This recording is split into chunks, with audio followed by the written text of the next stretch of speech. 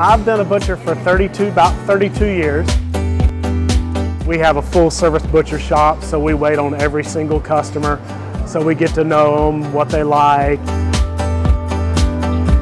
We do a lot of stuffed chicken breast, which is almost a complete meal in itself because you have your chicken, you have your vegetables in it.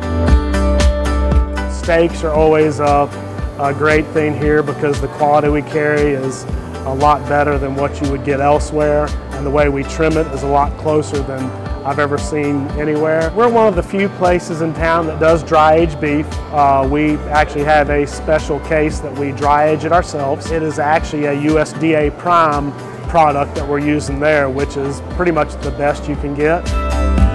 Definitely we're known for the quality and craftsmanship that we put out here at Reid's.